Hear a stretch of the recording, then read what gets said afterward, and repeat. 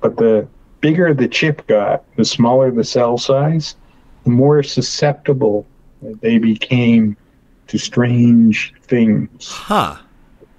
So we had a robot jumping around. And the first time the robot was jumping around is because A231 chips were overheating and spitting out wrong answers. Makes sense.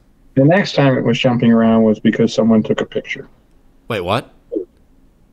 If you took a flash photograph, the energy went through the window on the UV prom and got onto the data bus. So it didn't erase the prom, but it got out onto the bus. So we called the guys from Intel and, you know, give them a sit down and talking to, because back then Intel was only uh, half a billion dollar company, and we were part of Square D by then, and we were a two billion dollar company. Yeah. So we'd call them, sit them down, and say, hey, you know, your UV proms are susceptible to flash photographs and bright lights. No. Okay, watch. Click. Robot moves.